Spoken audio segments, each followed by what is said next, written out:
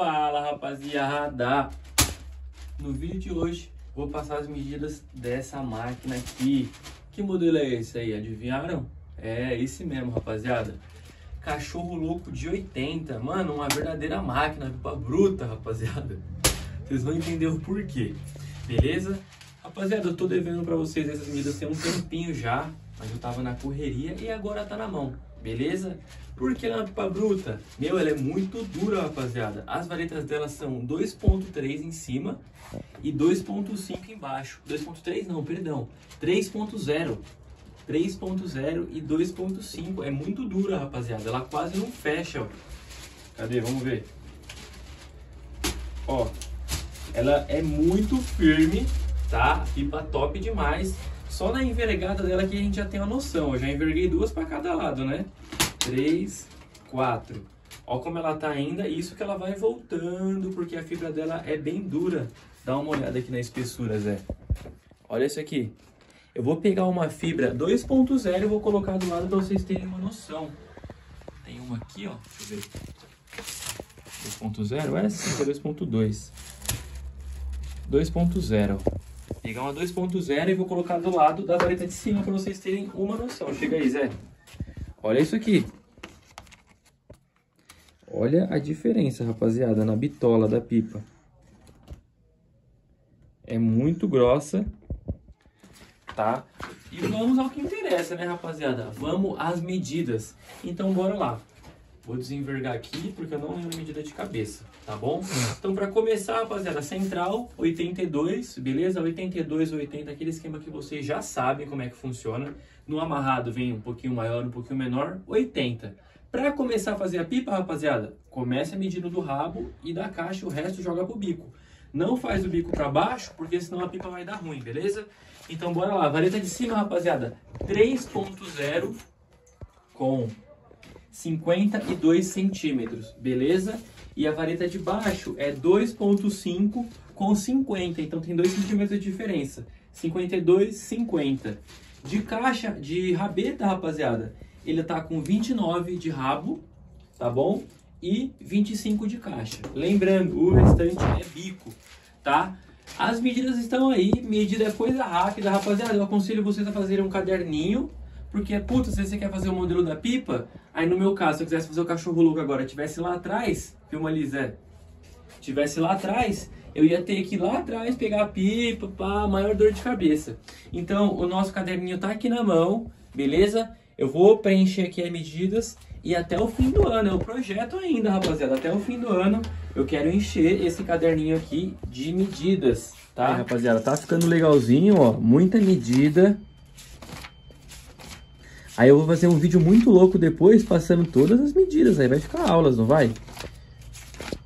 A do cachorro louco, cadê do cachorro louco? Eita, tá longe, hein? Tá, tá cheio mesmo. Essa, é essa aqui. Vou preencher aqui. Aí, rapaziada, preenchido. Beleza? Quem quiser tirar aquele print, tá aí, ó. Perdoem só minha letra. Mas tá aí, fechou? As medidas são essas, rapaziada. Agora bora pro modo de preparo e qual que é a linha ideal para soltar essa pipa. Vou falar tudo isso aí pra vocês. Tem algumas prontas que eu ia soltar hoje. Olha aí, filma aí, Zé.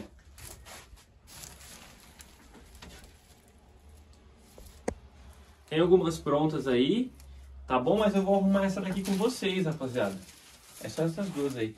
Mas eu vou arrumar essa daqui com vocês, beleza? Cabrestinho, rapaziada, naquele modelo, cabrestinho de 3. Vou pegar aqui, daquele knife lá que vocês já estão ligados, que é esse aqui, ó. Eita! Fura aqui no meinho, com a unha mesmo, tá ligado? Pra quem não sabe fazer um cabrestinho de 3, rapaziada, é a coisa mais normal do mundo não saber. A gente vai vivendo e aprendendo. Cabrestinho de 3. Oh, já, já comentaram no vídeo, nossa, demora muito pra fazer o cabresto. É, não, tem, não tô com pressa, rapaziada. Se quiser fazer no modo produção, a gente sabe também, ó. Pá, ó. Pá, um, dois, um, quebrou, sobe aqui. Vem aqui, ó. Eu sei fazer, mas eu faço isso na hora que eu quero empinar. No vídeo eu tenho calma, entendeu? Acabei, ó. Foi rápido. Mas eu fiz errado. A pressa não, não nos leva à imperfeição. Enfim, rapaziada, o cabretinho é esse aqui. Tá bom? Cabeça de três. A gente vai deixar ele bem em cima, pra, pra não ficar muito duro. Eu vou deixar ele mais ou menos aqui, ó.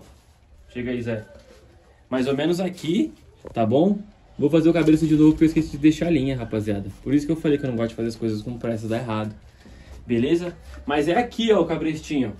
Vou fazer de novo, rapaziada. Perdoe-me. Vou fazer de novo. Errar é humano, estou aqui para reconhecer. Não vou apagar essa parte do vídeo. Tá bom? É normal errar, rapaziada.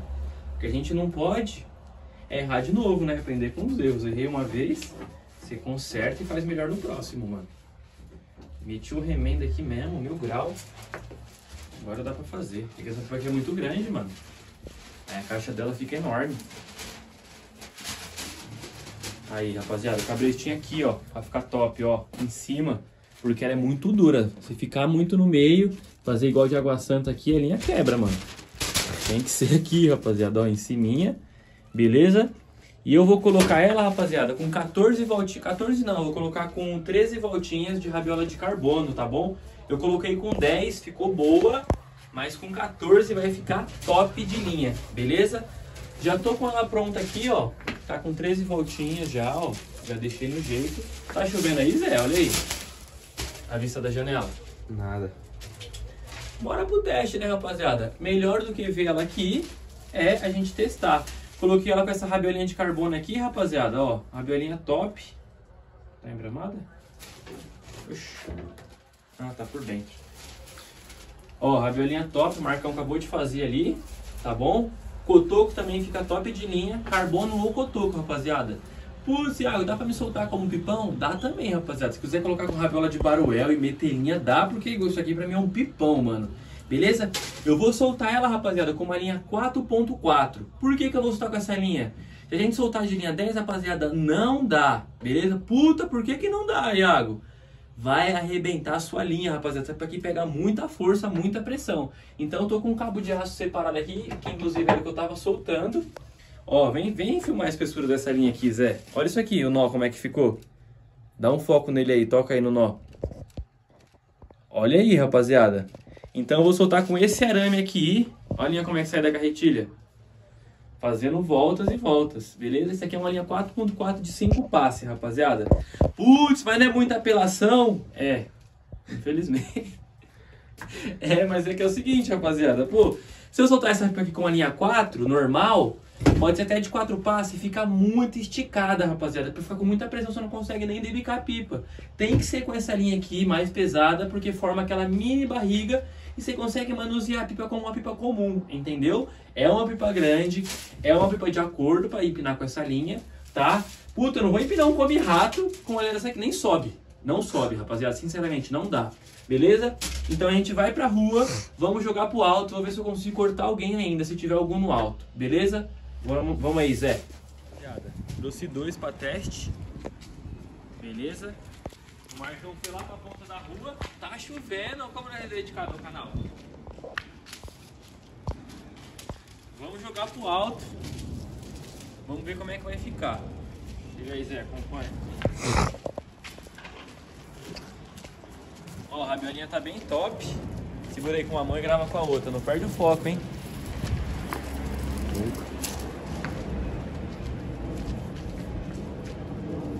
Tá boa, tá boa.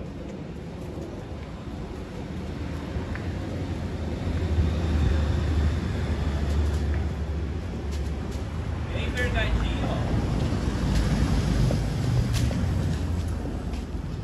O pessoal gorou, pessoal gorou. E aí, rapaziada? Putz, mano, quebrou a linha da envergação, hein? Que trave. Ó, dica do dia, rapaziada. Quebrou a linha da envergação, o que, que você faz? Mano, não amarra a outra, faz isso aqui, ó. Ao vivo, hein, mano? É vivendo e aprendendo. Soltou as duas linhas. Dá dois nó firme, pra não escapar. Dica do dia, hein? Tava esquecendo das dicas do dia. Ó, bem firme. Agora você vem aqui, ó, refaz, não precisa de outra linha. Nem o Rafael sabia dessa. O que você vai ter? Agora. Eu que ensinei, Zé. Deixa eu ver. Aqui tá top. Maria.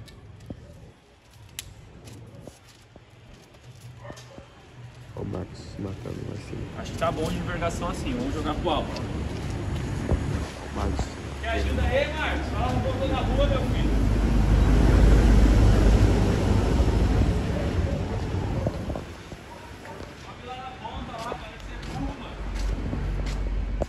Marcos tem a cabeça.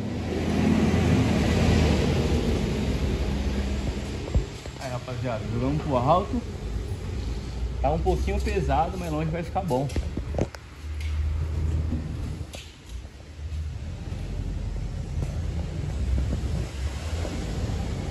Hum, rasgou, hein? Vai rasgar, rapaziada. Tá chovendo.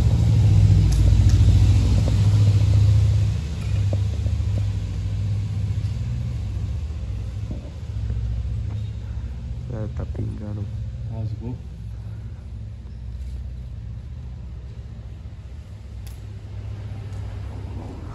Vou colocar o outro, rapaziada. Ainda bem que a gente trouxe dois. Que eu vou ter que colocar o outro que rasgou, ó. Rasgou ali do lado da antena, viu? olha lá, ó.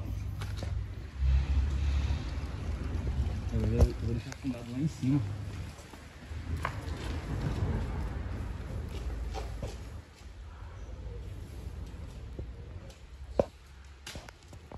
Aí, Zé, peraí. Vai botar o pipa do inimigo, ó.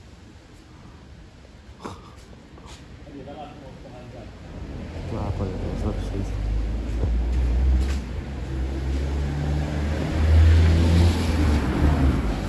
Cuidado, mano. Ó. Mudou tudo. Pegando o barulho. É, rapaziada, infeliz- infelizmente as fortes pancadas de chuva de São Paulo não vamos conseguir gravar. Ó, como é que ficou o estado da pipa. Numa ocasião melhor eu vou gravar ele, que essa pipa é muito boa, já soltei dela, tá? Por isso que eu queria muito gravar. Ó como é que tá os do Marcos aí, ó. Deu ruim bem no teste, rapaziada. Mas é assim, né? Deus escreve o certo por linhas tortas, certo? Esse foi o vídeo de hoje, rapaziada. Tutorial aí do cachorrão de 80. Pra resumir é isso, rapaziada. Cachorrão top, fazer ele central, rapaziada. Quando for fazer, bem firme, beleza? Soltar ele com a linha um pouquinho mais pesada, tá? Não tô dizendo que não dá pra soltar de linha 4, dá pra soltar. De linha 10 vai arrebentar, isso aí é certeiro, qualquer linha. Beleza? Soltar de linha 4 também dá, mas fica muito esticado. Eu recomendo soltar de 4.4, beleza? Bem passadinha, uma linha bem pesadinha porque ela é muito dura. Fechou? Central, rapaziada? Bem durinha, bem firme pra ficar show, beleza? Então é isso, rapaziada. Esse foi o vídeo de hoje. Você que não é inscrito no canal, rapaziada, faça sua inscrição aí, dê aquela moral pra gente nos comentários também, compartilhando, beleza? Tamo junto e não se esqueçam, rapaziada. É Chile, é tapa na cara, mané.